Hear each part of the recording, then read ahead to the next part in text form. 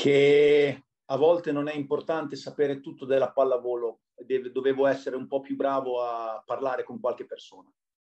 E persona, giocatori, giocatori squadra, allenatori? Agenti, staff, mm, con qualcuno di più. Dovevo essere un pochino più eh, aperto al dialogo eh, che chiuso sulle mie posizioni.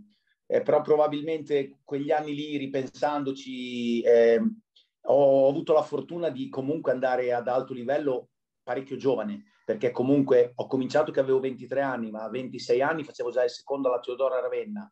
A 28 ho vinto il primo scudetto da assistente allenatore, a 31 allenavo già una Serie A, quindi diciamo che sono riuscito a fare serie minori e a partire in fretta.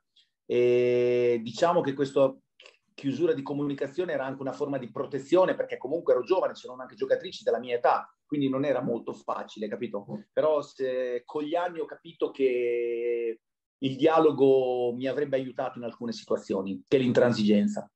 Pensavo che la medicina migliore come allenatore fosse quella di vincere e di allenare bene. In realtà nel mondo femminile, non so in quello maschile, ma in quello femminile non è così.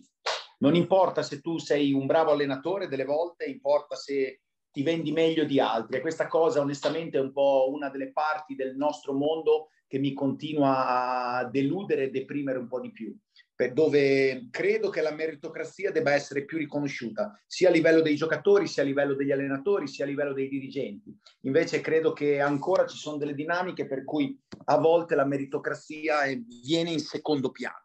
Solamente no. questo.